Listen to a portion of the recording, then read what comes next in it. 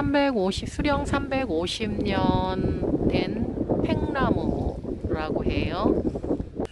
여기는 청마 유치원 선생 시인의 기념관이자 생가입니다. 아, 통영에 있는 청마문학관은 제가 가봤는데요. 이 거제에 있는 생가하고 기념관은 처음 와봅니다.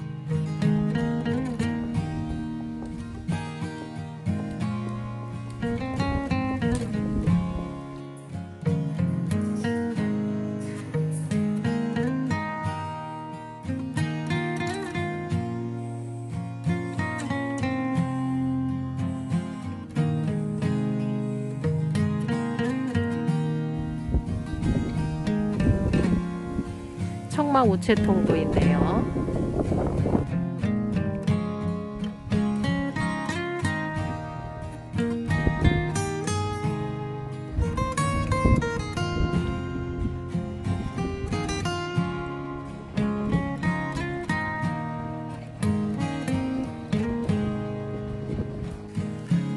동랑 유치진 선생님의 생가도 같이 여기다 해놨네요.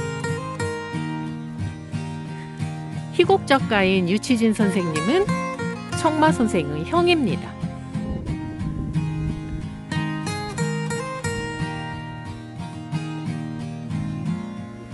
담장이 너무 예뻐요.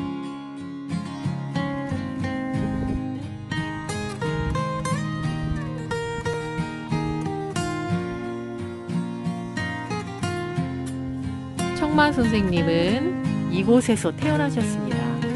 그리고 3살 때 통영으로 이사를 해서 어린 시절을 통영에서 보내셨다고 해요. 이거는 어처구니 없는 맷돌입니다.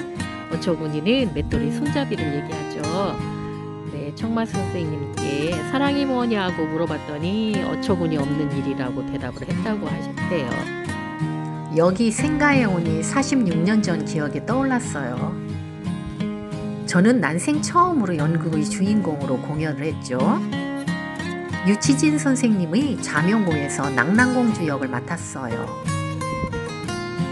아, 집이 정말 아담하고 예쁘네요.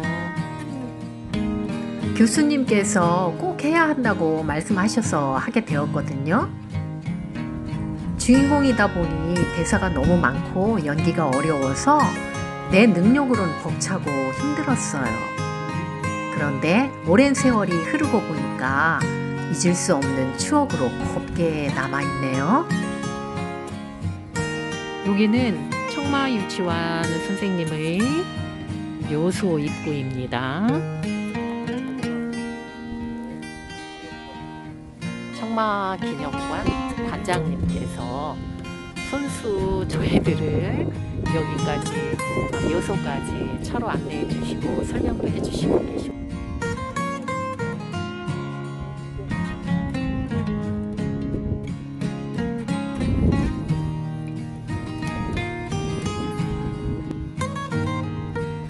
묘지 앞에는 이렇게 멀리 바다가 보입니다. 어, 묘지 위치가 저는 뭐 잘 모르겠지만 풍수지리설 같은 건 잘 모르겠지만 참 편안하고 좋은 자리인 것 같아요. 이렇게 시비들이 많이